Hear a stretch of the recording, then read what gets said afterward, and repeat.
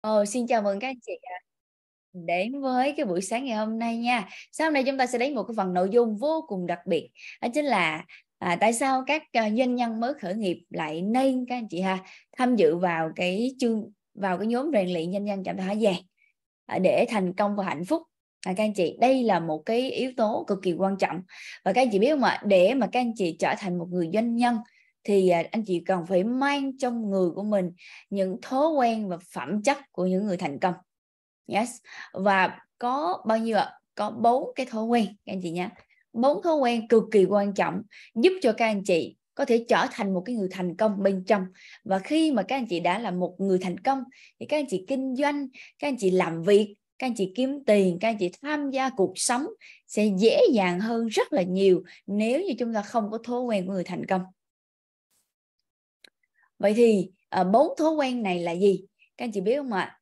Trước kia đó theo khi mà theo không có biết rèn luyện thói quen người thành công mình mang trong mình những cái thói quen của những người sống hời hợt của những người sống tầm thường ờ, không có kỷ luật không có nhắc quán không có uh, một cái thói quen gì mà đặc biệt cho mình uh, một cái thói quen của người thành công gì ở trong người mình cả. Mình sống nó giống như là một con thú. Yeah. nó không khác gì là một loài thú ngoài kia các anh chị ạ mình sống một cái bản năng ờ, mở mắt ra là chỉ biết ăn rồi làm những cái việc mà ờ, nó đã được cài đặt sẵn bên trong của mình thôi.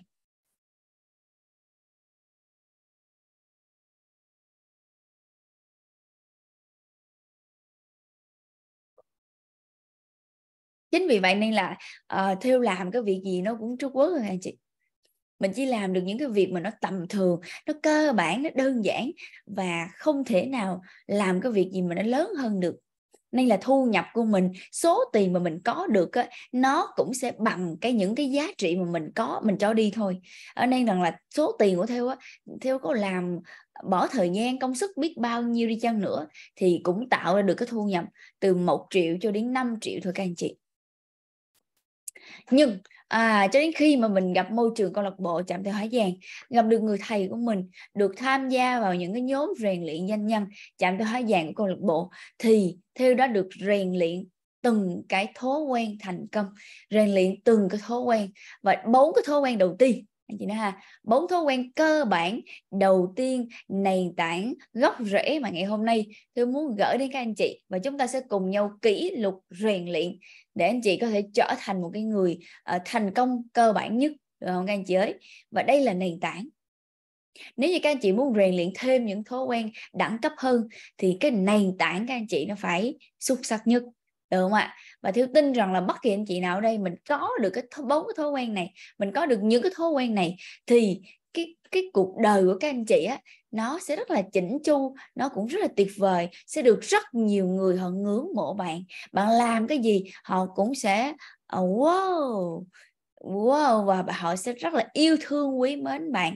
Mà khi mà các anh chị có nhiều người yêu thương có nhiều người quý mến thì cái con đường thành công của bạn nó mới thuận lợi và thuận hòa còn cái hành trình thành công của bạn mà có quá nhiều người họ mâu thuẫn với bạn họ không ưa bạn họ không hỗ trợ bạn họ không giúp đỡ bạn thì sao ạ à? thì nó không hề dễ dàng một chút xíu các anh chị nhé ok bởi vì thói quen thứ nhất các anh chị cứ ghi vào ạ à. chính là mình cần phải gì à, trân trọng những gì mà mình đang có à, trong khi mình theo đuổi những cái gì mà mình mơ ước là gì ha. Thói quen thứ nhất chính là anh chị hãy biết trân trọng những gì mà mình đang có.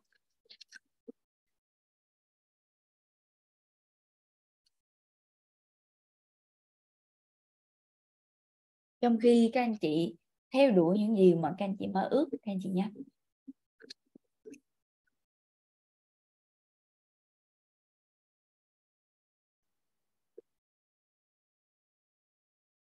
Hãy gieo những cái hạt mầm của lòng biết ơn, các anh chị. Hãy gieo những cái hạt giống của lòng biết ơn. Và hôm qua theo cũng đã nói với các anh chị rằng là tất cả mỗi anh chị đây mình đều có một cái mảnh đất màu mỡ, đúng không ạ? Mình đều có một cái mảnh đất nó rất là màu mỡ. Yes. và bất cứ cái niềm tin, cái suy nghĩ nào mà các anh chị gieo vào trong cái mảnh đất này, nó đều trở thành sự thật. Nó đều trở thành sự thật, các anh chị vậy thì à, mỗi một ngày các anh chị ha trong cái bản trong cái con người của chúng ta nó có cái hạt giống gì ạ? Nó đã có sẵn cái hạt giống biết ơn yêu thương. Nó có cái hạt giống gì ạ? Ganh tị đố kỵ. Ganh tị đố kỵ và chán ghét. Hoặc là nó có cái hạt giống gì ạ? Hạt giống thành công hạt giống thất bại. Nó có hạt giống um, hòa hợp nó có hạt giống bất hòa. Bên trong của các anh chị nó liên tục có cả hai. Vậy thì cái câu hỏi đặt ra là hàng ngày các anh chị muốn cái hạt giống nào nó phát triển? Anh chị muốn hạt giống yêu thương bên trong người các anh chị nó phát triển? Hay anh chị muốn cái hạt giống mà bất hòa ganh tị đố kỵ bên trong mình nó phát triển ạ? à? Chị muốn cái gì yeah. Dạ. vì vậy nên là chúng ta hãy, thói quen thứ nhất là hãy liên tục gieo những cái hạt giống, những cái hạt mầm, lòng biết ơn vào bên trong cái mảnh đất màu mỡ của mình và anh chị gieo cái gì là anh chị sẽ gặt lại cái đó vậy thì em hỏi các anh chị là đứng trước một cái tình huống, anh chị có quyền lựa chọn một là mình yêu thương, hai là mình ghét bỏ. Mình phỉ mình sỉ nhục mình nói những cái lời khó nghe. Đấy, anh chị có quyền đứng trước hai cái tình huống đứng trước một cái tình huống anh chị có quyền chọn một trong hai điều đấy. Anh chị đồng ý không? Và cái việc mà gieo những cái hạt mầm yêu thương này thì nó đến từ cái sự lựa chọn của bạn. Bạn lựa chọn bạn gieo cái gì đó là quyền quyết định của bạn và không ai có thể giúp được bạn cả. Và đây đã đến từ sự lựa chọn của mình. Vậy thì cái lựa chọn, cái thói quen đầu tiên, hãy xây dựng và rèn luyện cho mình cái thói quen là hãy nuôi những cái hạt mầm biết ơn, lòng biết ơn vào bên trong cái mảnh đất màu mỡ của mình. Vậy thì chúng ta biết ơn cái gì ạ? À? chúng ta có rất nhiều thứ để chúng ta biết ơn. Có phải là các anh chị đang mưu cầu cái sự khỏe mạnh không ạ? Anh chị đang theo đuổi một cuộc sống được khỏe mạnh hơn vậy thì cái câu hỏi đặt ra là cái cơ thể, cái sức khỏe hiện tại bạn có, bạn đã thật sự biết ơn chưa? Yeah. bạn đã bắt đầu gieo những cái hạt mầm biết ơn về cái cái sức khỏe cơ thể của bạn chưa? Nếu như chưa thì chúng ta mỗi ngày chúng ta hãy dành thời gian để rèn luyện, thực hành cái thói quen là gieo những hạt, giống hạt mầm biết ơn vào trong mảnh đất của mình và biết ơn cơ thể của mình biết ơn sức khỏe của mình là cái thứ mà các anh chị cần phải thực hành biết ơn đầu tiên. Tôi vô cùng hạnh phúc và biết ơn à, cái trái tim của mình. Nếu như cái trái tim của các anh chị mà nó ngừng đập thì các anh chị có sống được không? Yes. Và uh, đôi mắt của mình nếu như mà các anh chị không được nhìn thấy thì các anh chị có nhìn thấy con cái của mình uh, thấy cha mẹ của mình thấy những người thân yêu của mình thấy những cái đồng nghiệp đối tác thấy được những cái cảnh xung quanh tươi đẹp như thế nào các bạn có nhìn thấy không? Yeah. và đôi tai này nếu như chúng ta không được nghe thì các anh chị có nghe được lời nói của con của mình không? Chúng ta có được nghe cái những cái lời yêu thương từ cha mẹ mình không? Chúng ta có được nghe những đối tác mình nói chuyện không? Chúng ta được nghe chim hót được nghe uh, tiếng xe di chuyển, được nghe những cái âm thanh xung quanh không ạ? Yes. và nếu như các anh chị không có cái đôi chân này, thì các anh chị có đi đứng được không? Các anh chị có đi được khắp muôn nơi không? Mình có được đi đến chỗ mình làm không? Mình có được đi à, ra thế giới không? Mình có được đi đến cái nơi để mình lấy đồ ăn, mình lấy nước uống không? Yes. Vậy thì nếu như cái đôi tay này không có đôi tay này thì bạn làm sao? Bạn có thể ôm được người thân của bạn không? Bạn có thể ôm được chồng mình, ôm được vợ, ôm được con, ôm được cha mẹ mình, ôm được những người bạn của mình. Và bạn có thể cầm nắm được mọi việc, mọi vật để giúp cho bạn thuận lợi hơn trong cuộc sống không? Yes. Thì tại sao không dành thời gian để biết ơn những điều mình đang có, mà lại dành thời gian để mà nghĩ về những thứ mà mình chưa có bao giờ.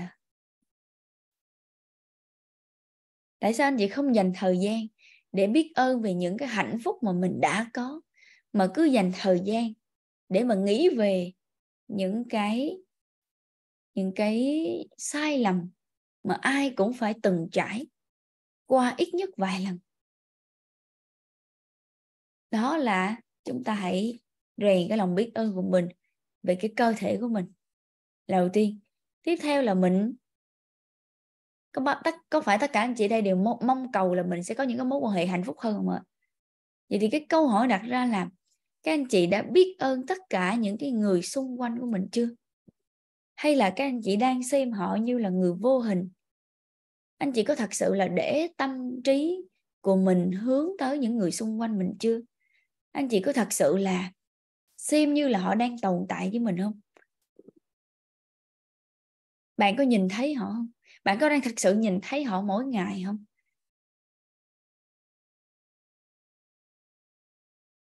Cha mẹ của mình, con cái của mình, vợ của mình, chồng của mình, những cái người thân yêu xung quanh mình, những người đối tác, đồng nghiệp của mình.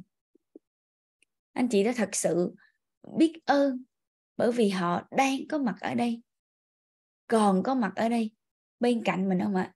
Và các anh chị có biết có rất nhiều người họ muốn phụng dưỡng cha mẹ họ muốn nói lời yêu thương với cha mẹ của mình nhưng họ cũng không nói được các anh chị. Họ không còn cơ hội để làm điều đó. Và có rất nhiều người họ cũng rất là muốn phụng dưỡng cha mẹ muốn đưa cha mẹ mình đi đến nơi này nơi kia để tận hưởng cuộc sống muốn mua cho cha mẹ mình cái bộ quần áo đẹp hơn muốn à, cho cha mẹ mình những cái món ăn dinh dưỡng tốt nhất, nhưng mà họ vẫn không có cơ hội được làm điều đó nữa, các anh chị.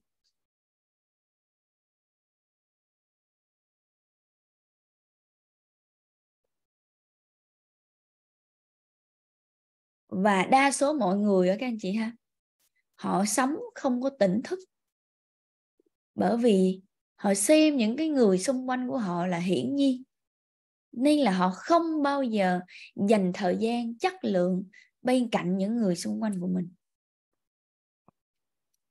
Và đa phần là họ sống, nó bị vô thức, nên là họ không có tỉnh thức khi ở cạnh những người thân. Gần ngay trước mắt, nhưng xa tận chân trời. Không ạ? Các anh chị đã bao giờ mình mình tập trung, mình quan sát, mình lắng nghe con của mình nói chuyện không ạ? Có bao giờ các anh chị thật sự để tâm, để tự, để cái sự chú ý, quan sát, lắng nghe cha mẹ mình giải bày không ạ?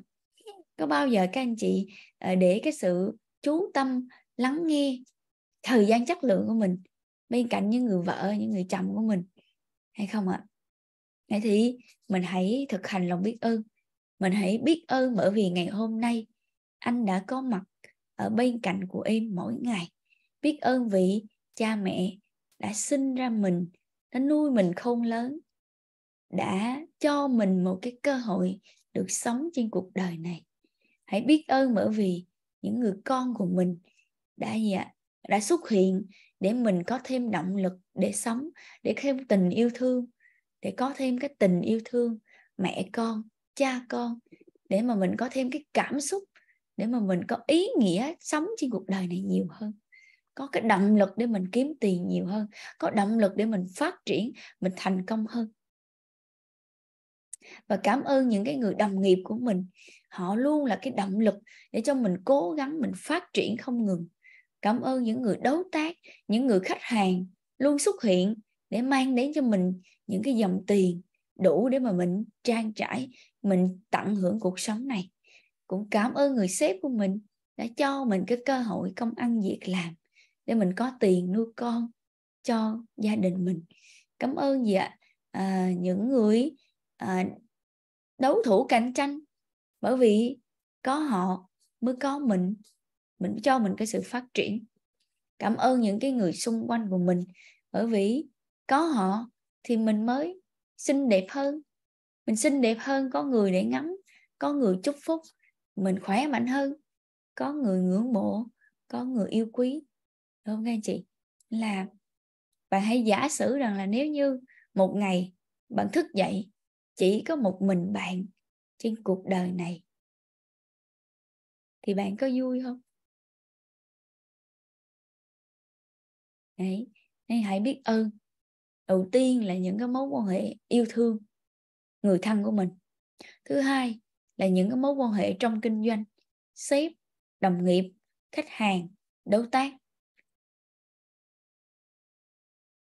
Được không ạ? Và anh chị hãy nhớ không có ai trên cuộc đời này mà thành công một mình cả.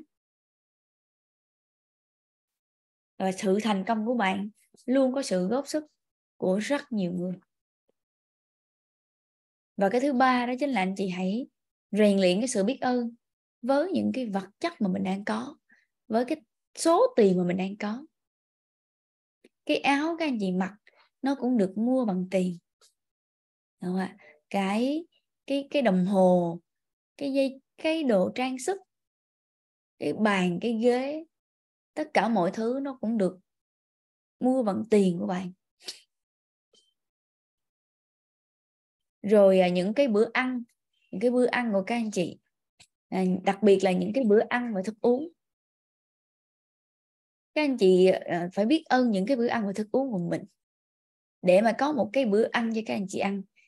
Khi mà các anh chị nhìn vào một cái bát cơm á à, các anh chị có đặt câu hỏi rằng là ai là người tạo nên cái bát cơm này cho mình? Chị có biết ơn cái người đã ờ, trồng lúa không ạ? Mình có biết ơn cái người đã mang cái hạt gạo đến cho mình không ạ? Mình có biết ơn cái người đã vận chuyển cái hạt gạo đó đến cho bạn cực khổ như thế nào không ạ? Bạn có biết ơn uh, cái việc mà những cái dụng cụ nấu nướng để tạo ra cho bạn cái bữa ăn đó không ạ? Yes mà mới chỉ là cái chén cơm thôi nó đã nhiều cái thứ bạn cần phải biết ơn như vậy rồi chưa kể là những cái món ăn khác. Yes vậy thì các anh chị hàng ngày đã dành thời gian để biết ơn những điều đó chưa và không phải là một ngày mà là ngày nào cũng thế và ngày nào chúng ta cũng phải nuôi dưỡng cái điều đấy các anh chị. Ok không? Ừ vậy thì thói quen đầu tiên hãy gieo những cái hạt mầm biết ơn. Và mỗi ngày các anh chị nên dành 15 phút mỗi ngày để làm điều đó. Nếu như mà các anh chị thức dậy sớm thì các anh chị có thể làm cùng với môi trường câu lạc bộ hoặc là buổi tối. À, thiếu có một cái chương trình buổi tối vào lúc 10 giờ 20 cho đến 10 giờ 50 phút để giúp cho các anh chị thực hành cái thói quen này dễ hơn. Được không ạ? À? để cùng chúng ta cùng nhau rèn luyện các anh chị nhé. Rồi, đó là cái thói quen thứ nhất ha. Thì bao nhiêu anh chị sẽ rèn luyện thói quen này ạ? À? người biết ơn thì luôn đủ đầy và dư giả kẻ phàn nàn thì mãi thiếu thốn mà thôi nếu mà các anh chị cảm thấy mình đang thiếu thốn bất cứ thứ, thứ gì thì các anh chị hãy nhìn vào đó đi. Có phải các anh chị đã thiếu lòng biết ơn?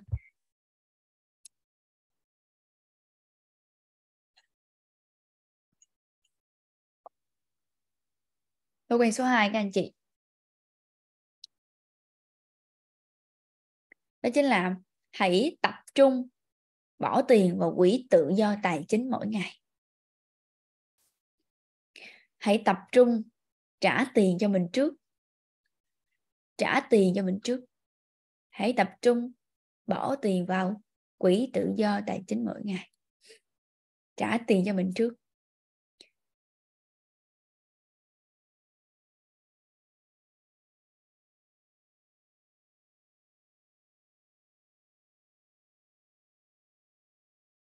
Ok và quỹ tự do tài chính, nó mới là cái thứ giúp cho cuộc đời các anh chị tự do hơn. Cái quỹ tự do tài chính, nó là cái quỹ duy nhất giúp cho các anh chị tự do tài chính đó. được không ạ? Đây là các anh chị cần phải chú tâm vào nó. Các anh chị cần phải tập trung vào nó. Phải để năng lượng ở đó các anh chị. Thì các anh chị có thể thiết lập một cái thói quen, chính là mỗi một ngày hồi xưa là mình có thói quen trả tiền cho người khác giàu lên, thì bây giờ mình phải có thói quen luyện lại. Đó chính là trả tiền cho mình giàu lên. Thì hàng ngày các anh chị hãy tập một cái thói quen, đó chính là hãy chuẩn bị cho mình một cái lọ thủy tinh trong suốt như thế này.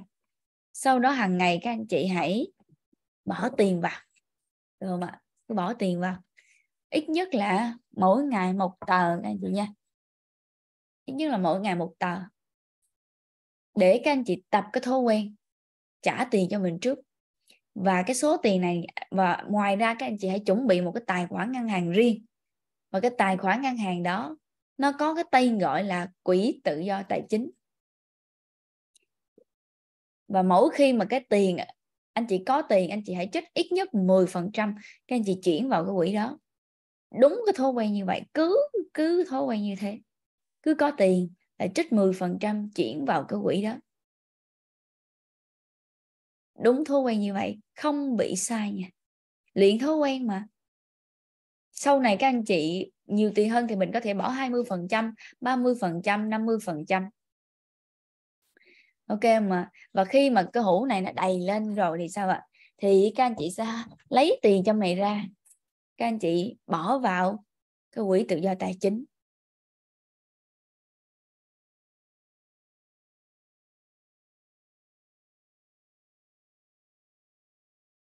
Ok các anh chị. Và cái quỹ tự do tài chính này sẽ làm gì? Quỹ tự do tài chính này sẽ làm gì? Thì sẽ có ba cái loại tài sản để cho các anh chị đầu tư. Quỹ tự do tài chính này là dùng để đầu tư gia tăng tài sản. Vậy thì có ba cái loại tài sản mà để cho các anh chị đầu tư.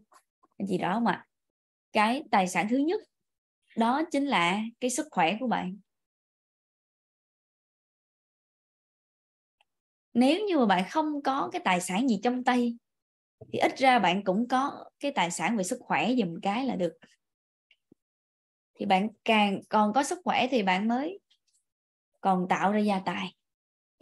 Nên là cái điều đầu tiên, chính là nếu như thu nhập của mình không cao thì mình hãy làm việc, tích góp tiền bạc để nuôi cho mình có một cơ thể khỏe mạnh nhất. Đó là cái mục tiêu đầu tiên trong cuộc đời của mình tài sản quan trọng số 2 tài sản quan trọng số 2 đó chính là cái trí tuệ của bạn. Người có hiểu biết và có tình yêu thương thì mới có thể là gì làm được những cái việc lớn được các anh chị. Đó là cái tài sản số 2 hãy đầu tư cho cái sự hiểu biết của mình. Hãy mua những cái khóa học hoặc là những cái cuốn sách từ những người thành công đi trước. Để mình lấy kinh nghiệm của họ mình học từ kinh nghiệm của họ để mình có thể rút ngắn cái đoạn đường thành công của mình. Mò đường á, nó không có ra đâu các anh chị. Và anh chị hãy nhớ rằng nha không thầy là đố mày làm nên. Nếu như các anh chị muốn trở nên thành công lớn các anh chị luôn phải có một cái người thầy dẫn đường cho các anh chị. Không không có thầy là không có ra gì đâu các anh chị hả chưa kể rằng là cái việc trở nên thành công, giàu có thì chúng ta cũng cần phải có một cái người thầy. Đủ cái năng lực để dẫn đường cho mình đi. Anh chị có biết không ạ? Jim Jones cũng có một người thầy, đó chính là sâu phát Tony Robbins, ông ta là một cái người nhà truyền cảm hứng hàng đầu thế giới. Bởi vì người thầy của ông là Jim Jones Chị cơ. Thầy của cũng có một người thầy là Jim Jones anh chị đồng ý không ạ? Và không có thầy là không có làm nên cái trò trống gì đâu các anh chị. Và khi mà em thư nói chuyện với các nhà du lịch đó các anh chị nhé thì hầu như cái sự khác biệt với một nhà du lịch với là một cái người bình thường đó, là bởi vì cái người nhà du lịch đó anh ta được học từ một cái người thầy có cái trí tuệ khôn ngoan đặc biệt kể cả là nhà vô địch về vận ờ, về cơ bắp hay là nhà vô địch về à, ca sĩ hay là diễn viên tất cả mọi thứ. Gì ha? Hoặc là những cái người mẫu những cái người hoa hậu. Cái người nào mà họ có cái sự thành công vô địch đó, hầu như đứng đằng sau họ là một nhà huấn luyện viên một vận động viên một người thầy xuất sắc đằng sau. Và em rất tự hào thầy của em là đẳng cấp nhất. Gì nha? Thầy của mình tuyệt vời nhất ở vậy mới có được cái người như mình. Nên là cái việc mà các anh chị chọn một cái người thầy đồng hành với các anh chị trên con đường thành công của bạn, nó cũng là cái yếu tố quyết định đời của bạn. Tại vì bạn sẽ trở thành ai ạ? À? bạn chỉ trở thành cái người nào mà bạn tiếp xúc và học từ họ thôi. Nên là hãy không ngoan trong cái việc là chọn thầy mà học.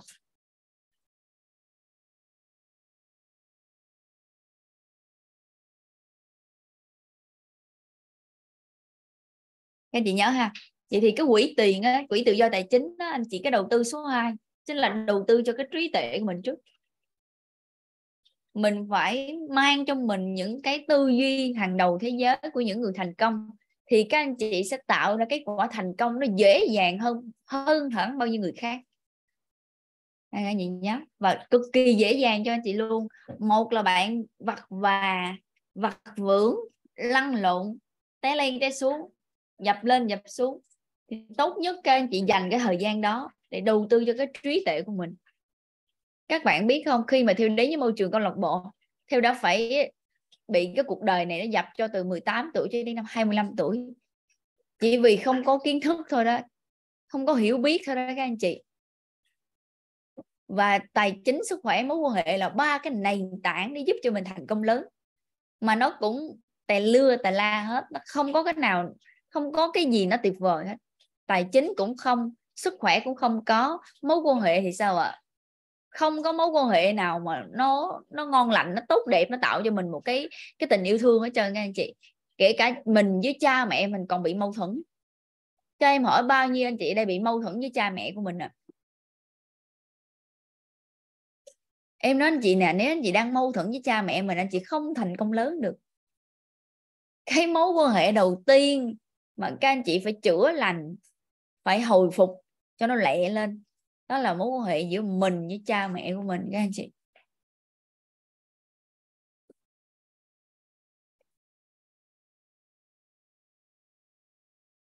Và khi mà, đó là lý do tại sao mà khi anh chị có mặt trong cái chương trình nhớ này 60 ngày làm chủ cuộc đời đó trong cái chương trình ờ, là anh chị sẽ được làm cái quy trình chữa lành những cái mối quan hệ với cha mẹ quy trình cha mẹ. Đó là lý do tại sao mình có cái quy trình cha mẹ đó các anh chị? Anh chị làm cái quy trình đó xong là bao nhiêu cái đen, cái nỗi sai, làm cái gì trong người của anh chị nó không được thoải mái nó sẽ được gỡ bỏ hết.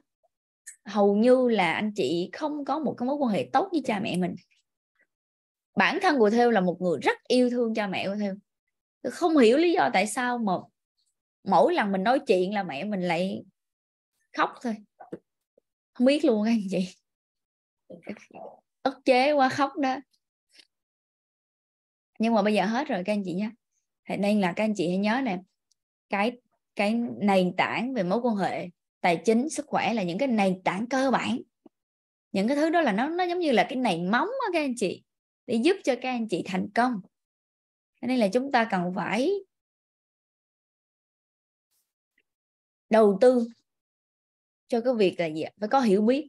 Để chúng ta nuôi dưỡng đầu tư cho việc là chúng ta cập nhật những cái tư duy của những người thành công. Để chúng ta có thể làm cho cái tài chính của mình nó tốt hơn cái sức khỏe của mình nó tốt hơn mối quan hệ mình nó hòa hợp hơn.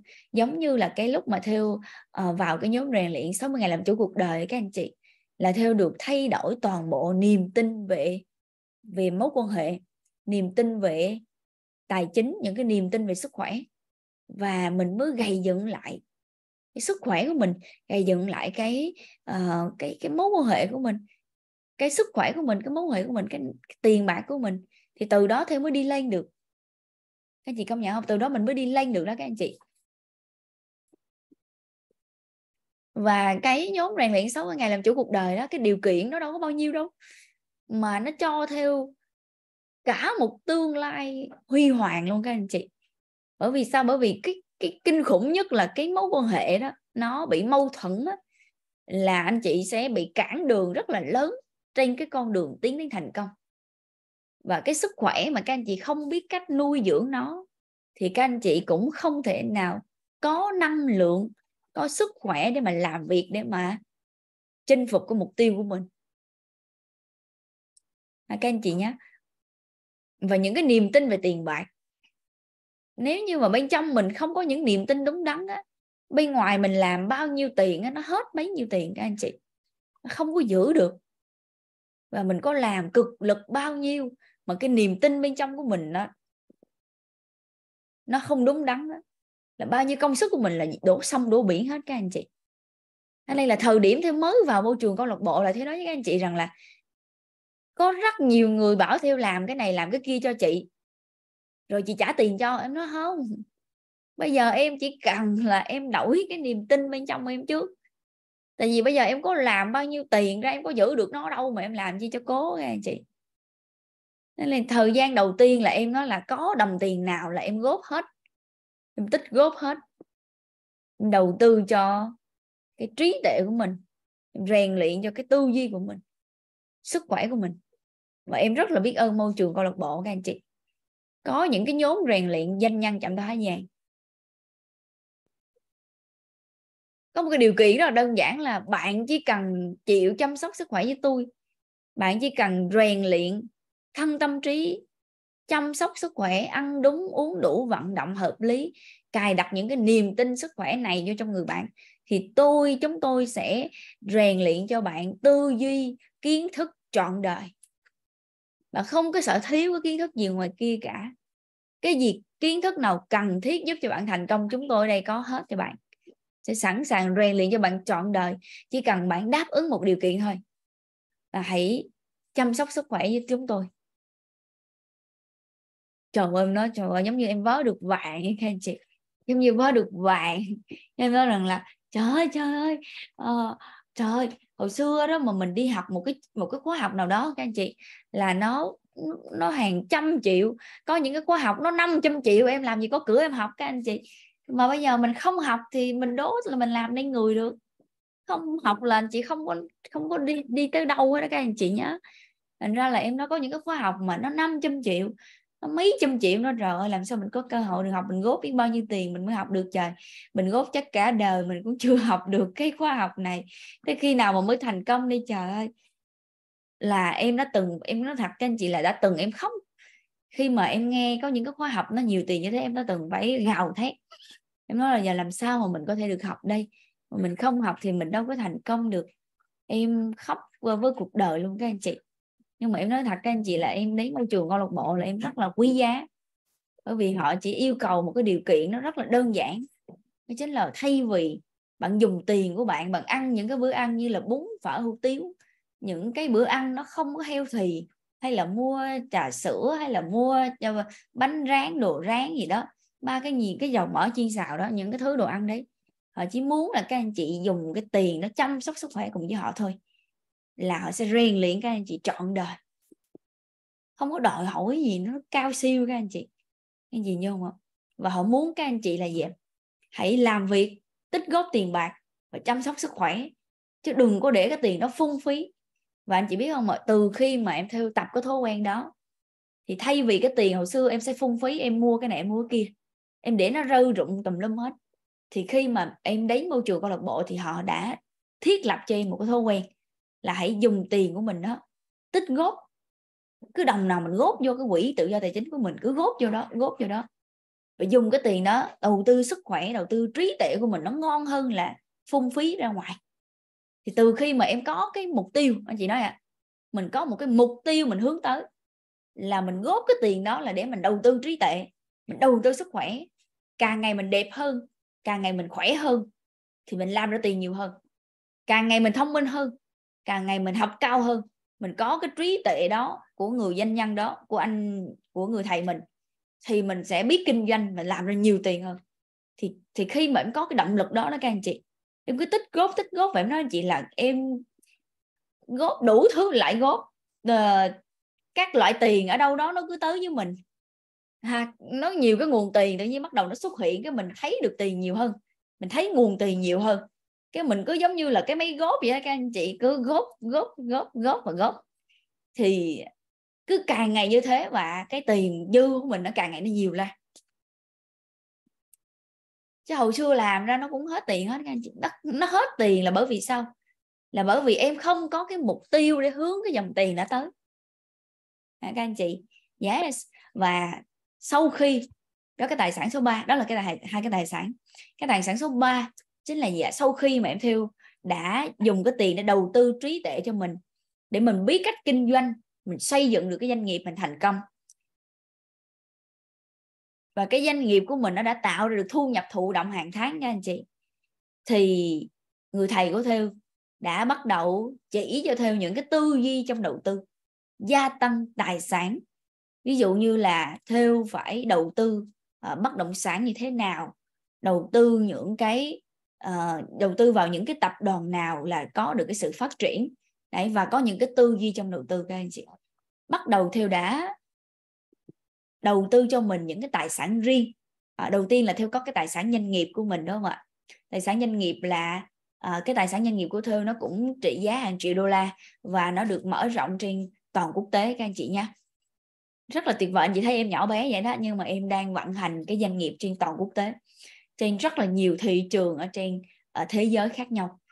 Không phải là tầm cỡ Việt Nam các anh chị mà mình sẽ rất là nhiều quốc gia khác cái dịch vụ cái sản phẩm của theo nó đang phân phối trên rất là nhiều đất nước khác nhau mà theo vẫn ngồi đây nói chuyện với các anh chị bình thường.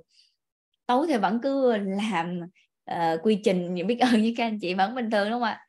Và theo đi ngủ thì cái doanh nghiệp mình nó vẫn phát triển. Đó là một cái điều rất là may mắn. Theo đã học được cái theo đã nắm bắt được cái cơ hội này và theo cũng đã học được cái điều này. Từ trong cái nhóm rèn luyện doanh nhân chậm thái vàng. Đó là lý do tại sao mà mấy anh em mà mới khởi nghiệp đó, là mình phải biết mình phải biết đến cái nhóm rèn luyện này các anh chị. Không là phí nửa cuộc đời. Vì sao? Chứ bây giờ bỏ bao nhiêu tiền ra là mất hết nhiều tiền không phải phí nửa cuộc đời không? Yes. Và cái uh, tiếp theo các anh chị thì sau cái nguồn anh chị biết mà cái mỗi mỗi uh, cái người thầy của theo nói rằng là theo ơi em cần phải đầu tư tiền cho cái danh em cần phải đầu tư vào cái doanh nghiệp của em là quan trọng nhất. Tại vì cái tài sản doanh nghiệp đó mỗi tháng nó sẽ mang lại cho em cái nguồn thu nhập nhiều hơn rất là nhiều từ cái việc mà em đầu tư. Ví dụ, ví dụ như em đầu tư một cái ngôi nhà đi em đầu tư một ngôi nhà nó phải 5 tỷ nó phải 10 tỷ thì mỗi tháng nó mới sinh ra em mới cho thuê em cho mướn. Mỗi tháng em mới có 20 triệu 30 triệu mỗi tháng. Nhưng mà nếu như em đầu tư vào cái doanh nghiệp của em nó chỉ một ít tiền của em thôi em đầu tư thời gian em làm em tập trung em làm việc em mở rộng doanh nghiệp của em ra em tăng cái tài sản doanh nghiệp của em lên. Mỗi tháng cái nguồn thu nhập từ cái doanh nghiệp nó mang về cho em có khi rằng là thụ động từ 1.000 đô, 2.000 đô, 3.000 đô, 5.000 đô, 10.000 đô và không giới hạn nó nhiều hơn rất nhiều. Mà em không cần phải mất 10 tỷ để em bỏ ra. Đó là cái lời dặn của người thầy của em liên tục dặn là hãy đầu tư thời gian tiền bạc vào cái doanh nghiệp của bạn. Và cái doanh nghiệp của bạn nó phải tạo ra được cái thu nhập thụ động không giới hạn cho bạn các anh chị. Và em theo đâu có quan tâm vào những cái đầu tư đâu. À, mình chỉ cần là gì mình có những cái tư duy đầu tư mình biết được rằng là cái à, cái bất động sản tiềm năng đó mà hoặc là một cái cổ phiếu tiềm năng hay là một cái gì đó tiềm năng mình chỉ cần bỏ tiền vào đó mình để đó. Rồi toàn, toàn bộ năng lượng của mình là mình cứ đầu tư cho cái doanh nghiệp của mình. Nuôi cái doanh nghiệp của mình nó phát triển và cứ à, cái tiền của mình mình tích góp được đó mình cứ trích ra 10 phần trăm và mình cứ tiếp tục học tập tiếp tục phát triển và tiếp tục à, nuôi dưỡng cái doanh nghiệp của mình xây dựng cái thương hiệu của mình càng ngày càng lớn. Và mình mang lại cái nguồn thu nhập cho mình. Đấy. À, các anh chị ha. Vậy thì các anh chị hình dung ạ.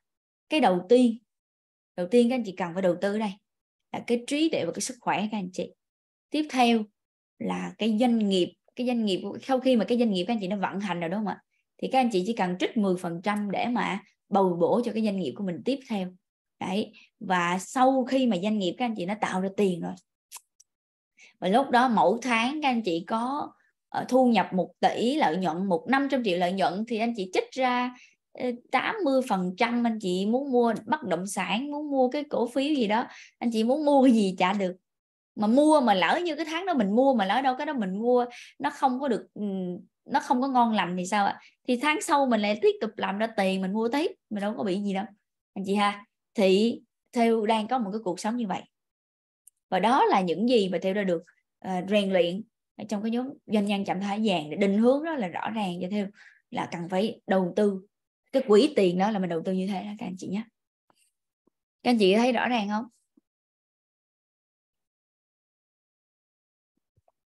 Và các anh, tại sao các anh chị không có tiền? Theo đã phát hiện ra tại sao lúc trước mình không dư tiền. Là bởi vì mình không biết hướng cái dòng tiền đó mình đi tới đâu cả. Mình chỉ biết làm và tích góp làm và tích góp làm và tích góp mà không biết là cái tiền mình góp đó là mình sẽ đưa nó đi đâu. Chị nhớ không? Đấy. Nhưng mà bây giờ theo có cái thứ để mà đưa nó đi. Đấy giống như hôm trước theo đã hướng dẫn các anh chị uh, quản lý tiền bằng bằng như thế nào đúng không ạ? Thì cái cơ bản đầu tiên là anh chị hãy tập trung vào cái quỹ tự do tài chính.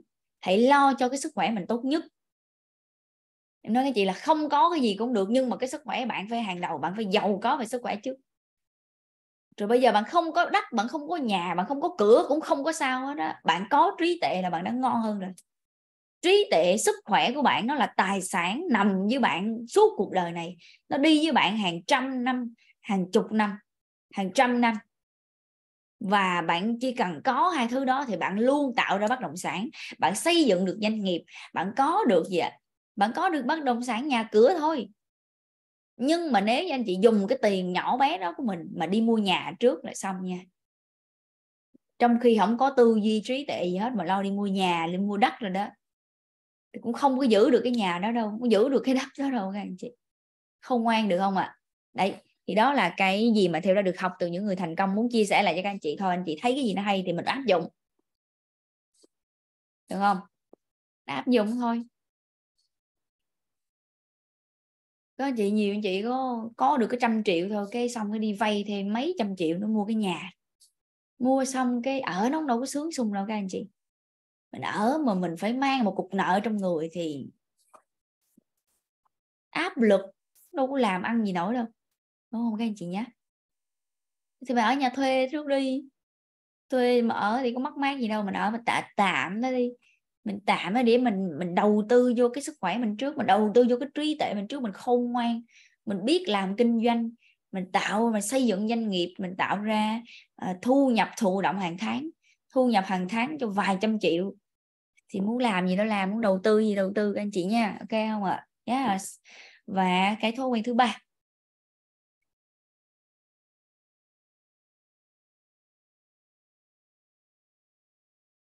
Em nói các anh chị rằng là em rất là hạnh phúc trong những cái khoản thu nhập của mình.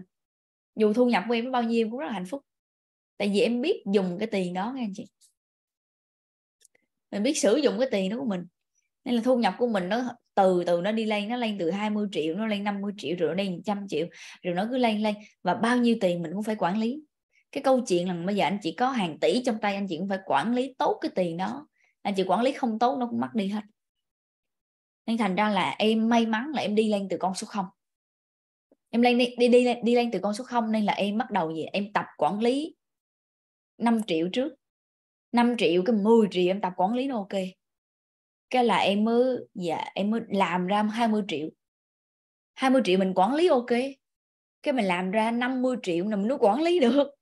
Mình quản lý 50 triệu ok. Cái mình làm ra 100 triệu mình mình cứ nâng cấp lên và mình làm ra 100 triệu mình quản lý 100 triệu tốt thì sau này mình có 200 triệu mình mới quản lý nó tốt được, các anh chị. Cái là sau đó thu nhập em nó lên 500 triệu, mà em mới gọi là, nếu như cái năng lực bên trong của mình mà nó không bằng với số tiền đó nha, em nó chỉ bị khớp liền. Và bị khớp là các anh chị sẽ bị mất tiền rất là nhanh. Và có cái thời điểm mà các anh chị lần đầu tiên trong đời em sở hữu cái số tiền là 2 tỷ trong tay. Ờ em nói anh chị rằng là từ hồi nhỏ giờ em nói anh chị rằng là em làm nó có 5 triệu 10 triệu 20 triệu. Trong cái tài khoản của em nó không có quá 10 triệu. Mà khi em đến với môi trường câu lạc bộ nha, em nói anh chị là cái thời điểm mà em mới học cái nhóm này để nhanh nhanh xong á, em bị giống như là em bị bùng nổ đó. Em bị gọi là em đam mê kiến thức đó. Em thấm nhuần kiến thức rồi em nghiêm túc, em kỷ luật các anh chị. Trời em nói anh chị là cái giai đoạn đó, em tạo ra thu nhập nó rất là khủng khiếp. Cái là cái số tiền trong tài khoản mình rất là nhiều nhưng mà anh chị biết không ạ? Mình bị khựng, mình bị khớp là bởi vì mình không có, trước giờ mình chưa bao giờ chạm với cái số tiền đấy. Chứ bây giờ mình cầm cái số tiền đó trong tay nên là nó bị nó bị bị bị khớp với các anh chị, và cái số tiền đó em đâu có giữ được hết đâu. Và nó bị vơ đi, và nó bị vơ đi, và nó đã bị suy giảm, và nó bị tụt giảm, và nó đã bị ăn mòn, nó bị vơ đi. Hết đâu đó gần hơn nữa các anh chị. Nên là nếu như tiền của các anh chị mà nó đến nhiều hơn cái năng lực phát triển của bạn, thì nó cũng ra đi thôi. Nên có một cái câu chuyện là nếu mà doanh nghiệp của các anh chị nha, mà nó phát triển hơn so với cái sự, so với cái năng lực bản thân của các anh chị, thì cái doanh nghiệp đó các anh chị cũng sẽ rất là nguy cơ. Anh chị thấy không ạ? Có bao giờ anh chị đã thấy rất là nhiều người họ xây dựng doanh nghiệp đó, mà cái doanh nghiệp đó nó phát triển nó nó mở rộng nè, nó gia tăng này nó bùng nổ, nó phát triển vượt trên cái khả năng của họ.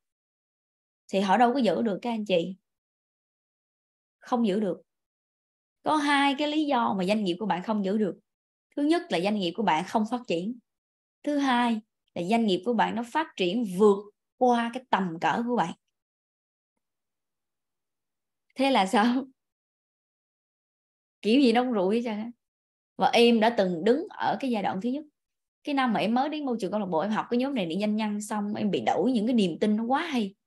Và em em cài đặt những cái niềm tin đó vào bên trong của mình và em rèn luyện những cái thói quen mà cái cái cái chương trình nó chia sẻ. Tại hồi trước giờ mình không có biết các anh chị, nên là cái nguồn thu nhập của mình, cái doanh nghiệp của mình nó phát triển mà anh chị biết không? Em mở rộng cái doanh nghiệp của em rất là nhanh. Những cái người rất là tài giỏi đấy làm việc rất là xuất sắc và tạo ra cái nguồn thu cho em rất là khủng khiếp luôn nhưng mà anh chị biết không cái năng lực bản thân của em thời điểm đó nó không có được nó không đủ khả năng để mà o bế cái đó để mà ôm để mà xử lý những cái vấn đề đó. Và một điều tuyệt vời là nó tan rã. Ok không sao hết các anh chị. Rất là may mắn là sau này cái có cái nhóm rèn luyện nhanh nhân đó, là sau này nó mới được đủ nó mới được rèn luyện đủ hơn hồi xưa em xưa em mới học thì nó không có được nhiều. Thành ra là em tạo ra được tiền mà em phát triển nhưng mà em lại không có không có giữ được nó. Thì sau này rằng là mấy anh chị mới thấy rằng là cái vấn đề đó rất là nhiều người gặp. Nên mới đưa vào trong cái nhóm rèn luyện nhanh nhăn. Thì mới trâu dầu thì riết là cái nhóm rèn luyện nhanh nhân trạng thái vàng ngày hôm nay á, nó mới đầy đủ như vậy đó các anh chị. Và hồi xưa cái nhóm rèn luyện 60 ngày làm chủ cuộc đời á, nó đâu có cái phần rèn luyện về mối quan hệ đâu các anh chị. Nên em đã gặp cái vấn đề, em đã là cái người bị cái cái cái mối quan hệ rất là nặng luôn. Thì em rất là may mắn là khi mà em khi mà cái vấn đề của em xảy ra đó thì mấy anh chị trong môi trường câu lạc bộ mới bổ sung thêm vào trong cái nhóm rèn luyện 60 ngày. Cái phần là là giúp cho mọi người xây dựng mối quan hệ hòa hợp. À, các anh chị nha và lúc đó em mới được học đó. Chứ còn lúc em mới tới em đâu có được đâu. Nhưng các anh chị rất là sướng. Là khi các anh chị tới đây là mọi thứ nó đã chỉnh chu rồi cái nhóm rèn luyện nó đã được cập nhật đầy đủ cho các anh chị rồi. Như em là em phải em phải trải qua cái điều đấy. Ok em các anh chị ơi. Vậy thì các anh chị có thấy được cái gì đó nó dễ dàng ở đây không? Tuyệt vời ở đây không ạ? À? con đường thành công đã nằm trước mắt mình. Và mình phải nắm lấy thời cơ cơ hội và tiến lên phía trước tạo ra sự thành công cho mình. Nên em nói các anh chị đó, đừng có ham. Đừng có ham rằng là có nhiều tiền. Mà phải ham cái gì anh chị biết không? Sở hữu cho có tiền vô nó không có được. Mà phải ham cái gì? Là ham là anh chị phải quản lý được cái cấp độ tiền đó. Hai các anh chị nhé hôm trước là trong cái môi trường của em có một cái bạn trẻ cũng sinh viên ra trường học với em cũng được mấy năm. Mà trong cái tài khoản của bạn bạn chưa bao giờ cầm được cái tiền tiền trăm triệu. Bạn chưa bao giờ dư được trong tay tiền trăm triệu các anh chị. Cái uh, xong cái hôm đó chưa bao giờ dư, dư được tiền tỷ.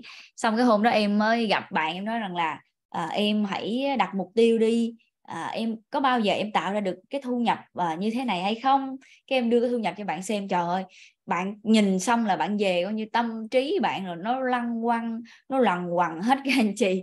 Tại vì bạn, bạn đặt câu hỏi là trời ơi nếu như mình có cái số tiền đó trong tay mình sẽ làm cái gì trời? Có nghĩa là chưa bao giờ tiếp xúc cái tiền đó và cái người thầy có theo nói rằng là đa số mọi người họ không có tiếp xúc với một cái số lượng tiền mặt lớn. Các anh chị nha họ không có được chạm cái số tiền lượng tiền mặt lớn.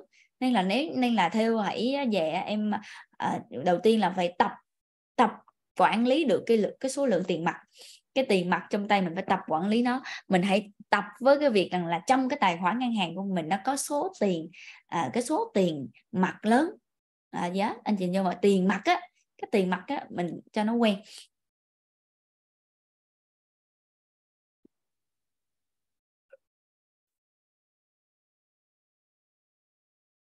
Ha các anh chị ha nên là cái việc mà làm ra tiền nó là một chuyện mà cái chuyện mà anh chị giữ được tiền hay không nó là một chuyện số 2 nên chúng ta hãy rèn luyện theo cấp độ được không ạ?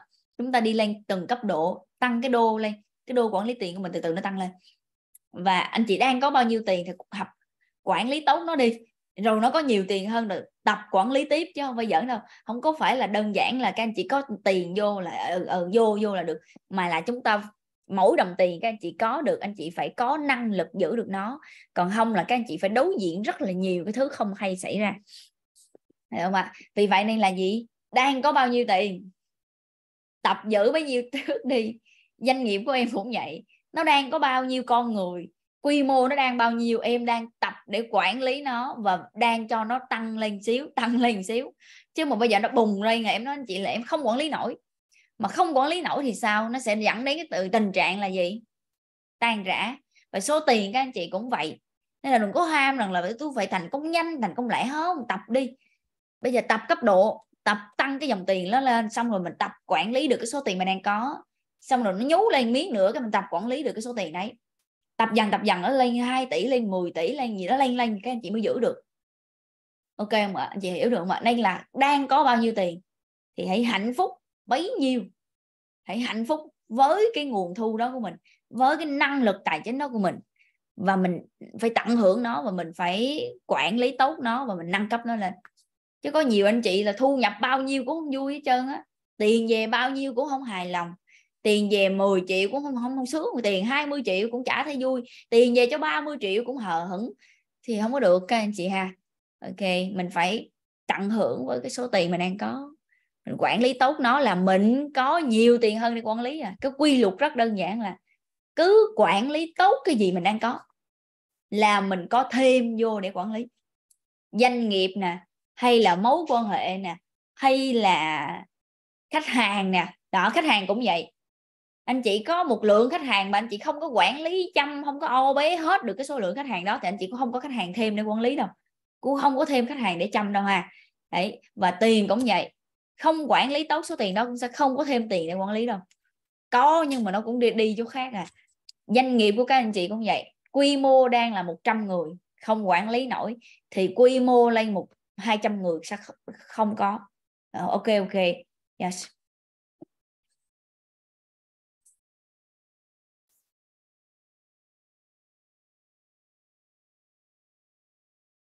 Câu quen tiếp theo các anh chị à, có một cái thói quen nữa đó chính là anh chị hãy tập kiểm đếm số dư à, có một cái thói quen là anh chị hãy tập kiểm đếm số dư các anh chị nhé à, anh chị có thể tập đếm tiền anh chị nếu có nhiều tiền đếm không ạ đa số anh chị dùng chuyển khoản nhiều khi anh chị quên luôn tiền mặt á nên là các anh chị nên gì vậy nên cắt giấy ra xong rồi các anh chị tập đếm tiền ha rút tiền về đếm cũng được nhưng mà nó cũng uh, tiền mà mình để tiền ở ngoài uh, giấy nhiều ngoài thì nó cũng không có hay thì các anh chị có thể cắt giấy ra để mình đếm cho anh vui tập đếm tiền và đặc biệt là các anh chị ờ, góp được cái tiền bao nhiêu trong cái quỹ này nè, thì các anh chị lâu ra anh chị đếm, được không ạ?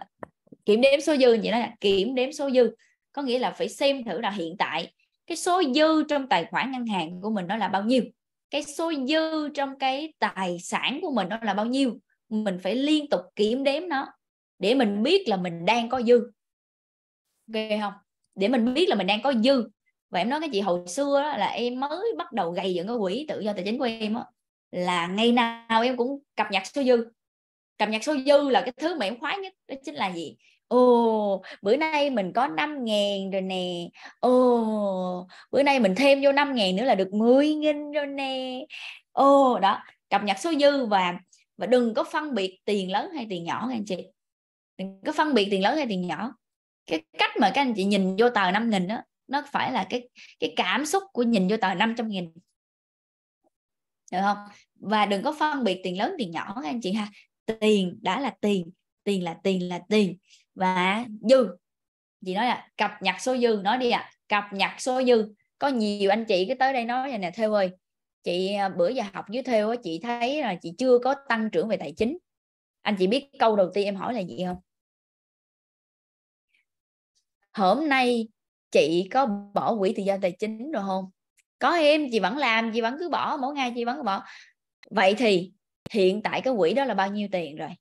Thì chị bỏ được cũng 15 triệu ở đây số dư đó. Dạ cô nương.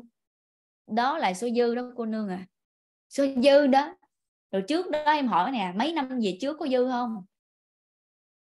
Không em là mấy năm trước làm chả có gì dư. Đó về dư dư bao nhiêu tiền? Còn đòi hỏi gì đó gì? Trời trời đất ơi là trời đất ơi cứ than hoài. Ờ, chị học chị muốn được ờ, vào ờ, chị muốn đặt mục tiêu mà chị không thấy là chị tốt hơn về tài chính gì hết. Trong khi em hỏi cái lồi ra một cục dư nó đâu biết. Gì vô không? Chứng tỏ rằng là anh chị có dư mà anh chị không thấy. Thì mình phải cập nhật số dư phải liên tục cập nhật số dư để cho mình thấy mình dư giả thì mình mới dư nhiều hơn. Ok anh chị ơi tập nhật cái gì? Liên tục là gì? Cập nhật số dư số dư nha.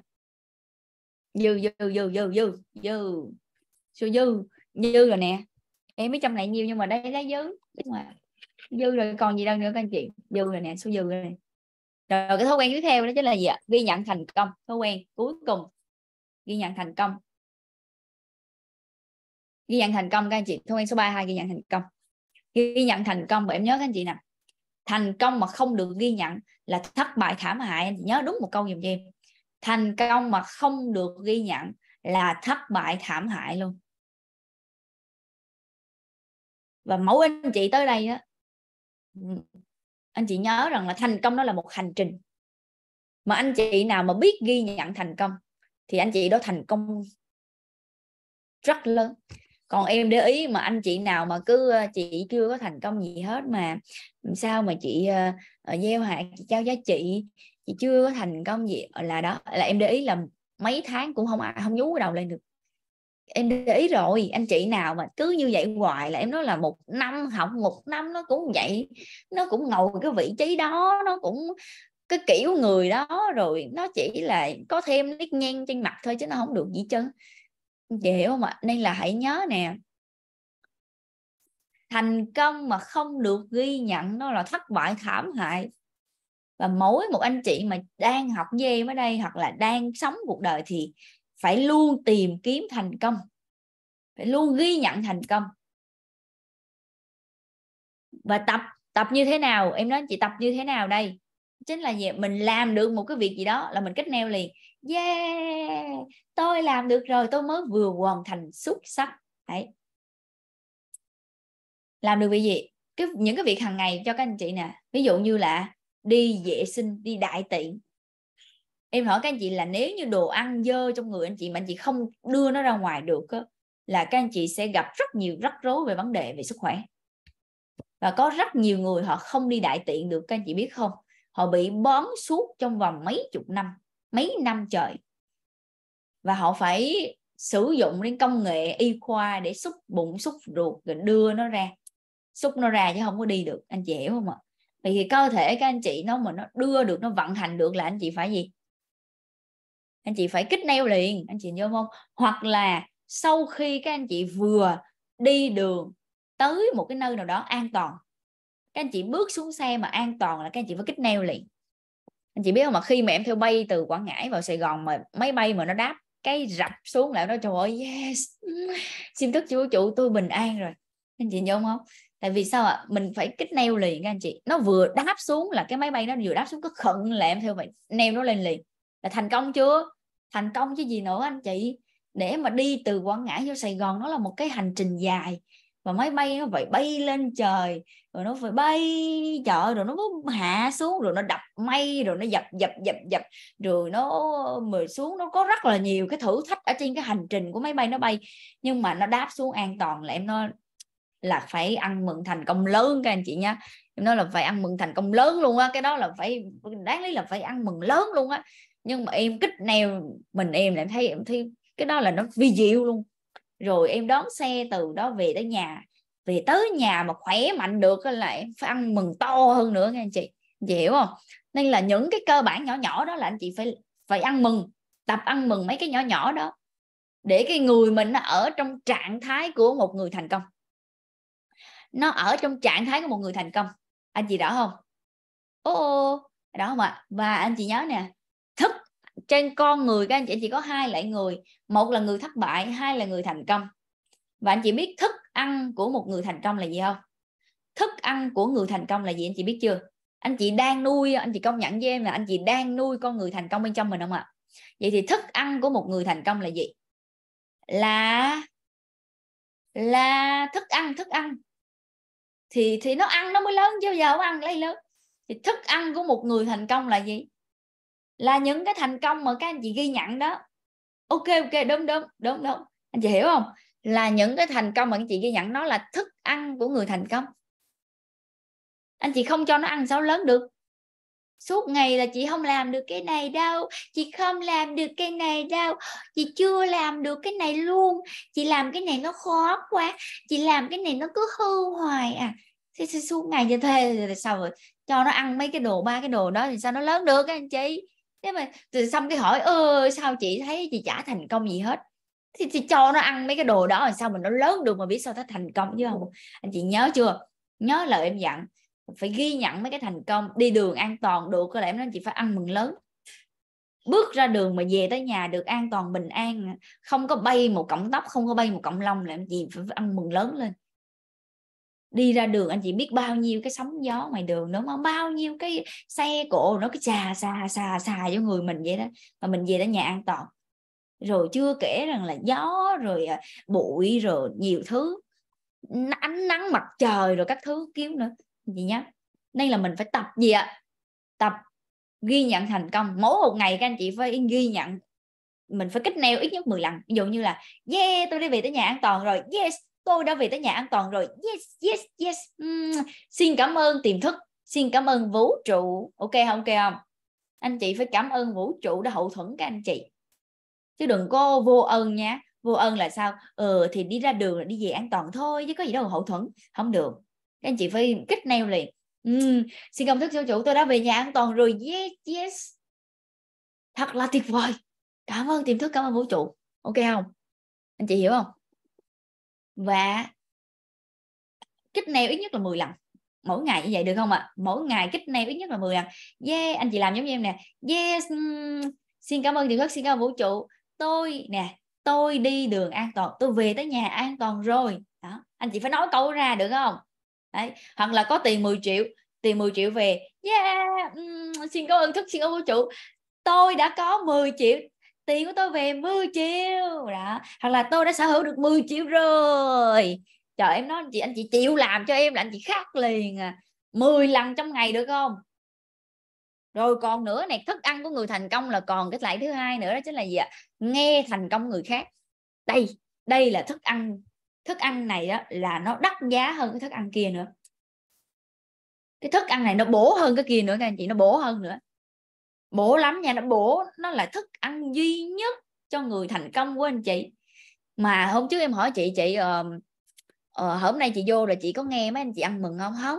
Tới cái giờ mà mấy mọi người lấy ăn mừng là chị tưởng nó học xong rồi chị thoát vô cái rụi luôn em.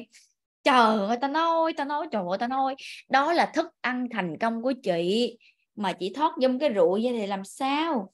Làm sao mà nuôi được hèn chi? Người chị em thấy chả chưa có nhiễm từ nhiễm tư gì hết ha, anh chị nào mà học cả tháng mà không có nhiễm miếng từ trường nào á nha, là bởi vì sao? Là bởi vì cái đoạn ăn mừng thành công là thoát đi rồi. Không có nuôi, không có cho ăn, không có cho người ta ăn nên ta không lớn nổi. Anh chị hiểu không? Thế thành ra là gì? Đầu tiên là thấy cái cái cái chỗ nào mà ăn mừng thành công và hô hào đó là phải bay vô liền. Ê, hay dữ vậy? Trời ơi trời ơi cháu nhỏ tại dữ trời trời ơi, hay dữ thế. Đấy, rồi lên mạng, ví dụ như là mình có coi cái gì đó thì những cái những cái gọi là những cái gọi là trao thưởng rồi đó cái chỗ mà cái đoạn mà trao thưởng rồi đó rồi chia sẻ cái um, chia sẻ cái um, um, cái suy nghĩ của người chiến thắng rồi đó. Ồ cái đó là sát vô. Trời ơi hay dữ ta. Chị này hay ta. Ồ chúc mừng chị. Trời ơi có nhiều người họ trở thành nhà vô địch đó. Cái cái xong có mấy bạn lên phỏng vấn á. Ờ, chị ơi ờ, lý do tại sao mà chị ờ, có thể trở thành cái người đó? Uhm, thật sự thì um, tôi cũng không có gì. Tôi rất là may mắn và tôi vô cùng hạnh phúc. Và biết ơn bởi vì á, là tôi đã được uh, uh, rất là kỷ luật trong cái việc này vậy vậy vậy anh chị phải nghe cái đó anh chị hiểu không? Mấy cái người mà họ giành chiến thắng á, là họ sẽ được phỏng vấn thành công. Cái người nào mà thành công là họ sẽ được phỏng vấn. Thì anh chị hãy nghe mấy cái câu chuyện mà phỏng vấn người thành công nhiều lên một chút xíu. Và đặc biệt là trong môi trường câu lạc bộ mình có mấy cái anh chị lên ăn mừng thành công đó. Anh chị nghe chừng 5 câu 10 10 10 bạn chia sẻ thôi là con người thành công của các anh chị nó nhìn trời nó khủng lồ lắm mạnh mẽ lắm.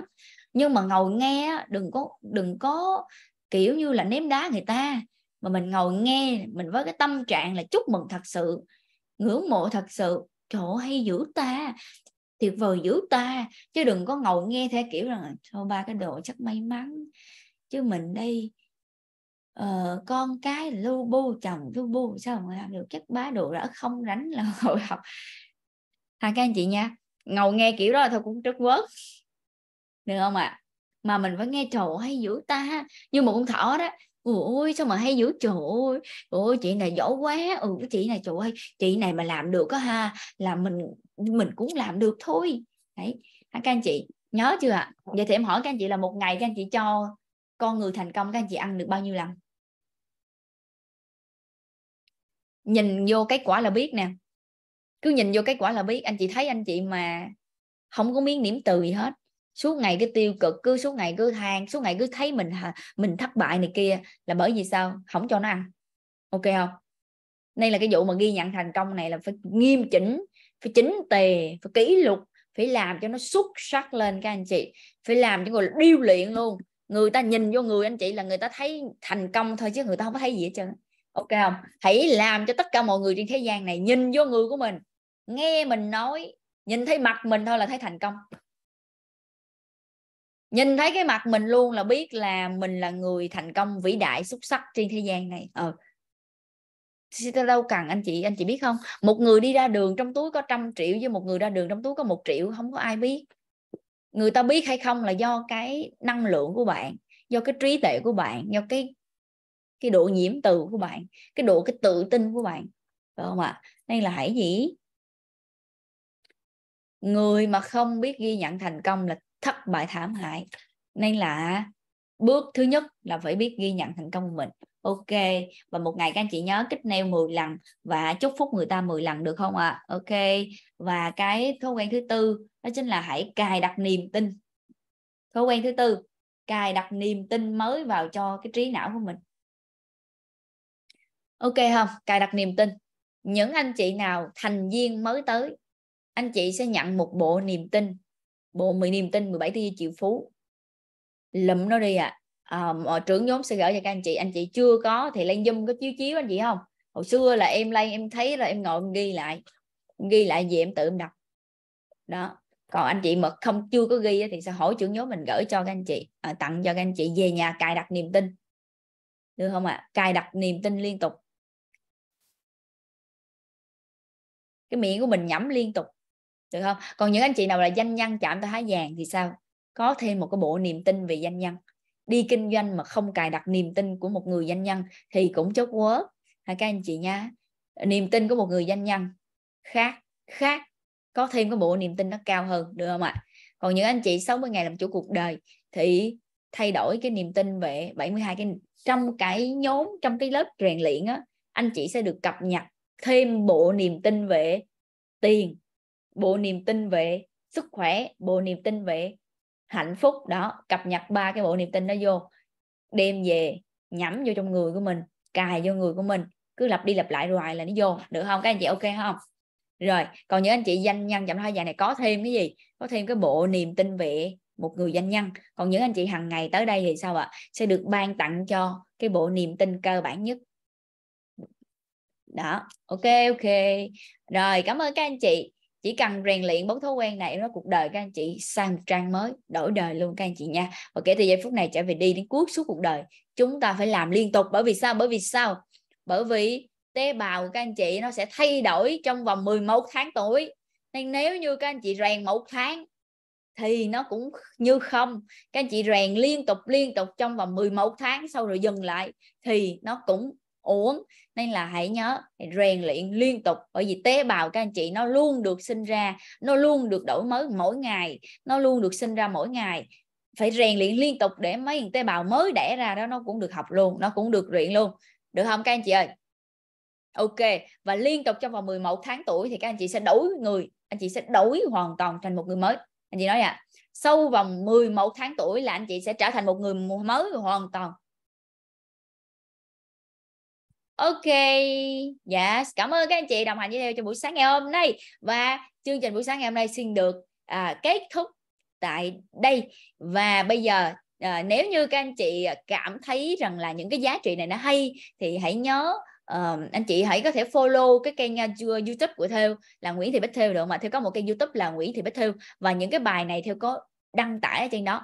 Hãy follow hãy like hãy chia sẻ cho bạn bè của mình hoặc là các anh chị hãy giới thiệu những cái người bạn bè của các anh chị những người yêu thương của các anh chị đến đây à, rèn luyện cùng với theo được không? Các anh chị ơi. Yes và hãy nhớ gửi lời cảm ơn đến những người trưởng nhóm của các anh chị đã giới thiệu các anh chị có mặt ở đây nhé.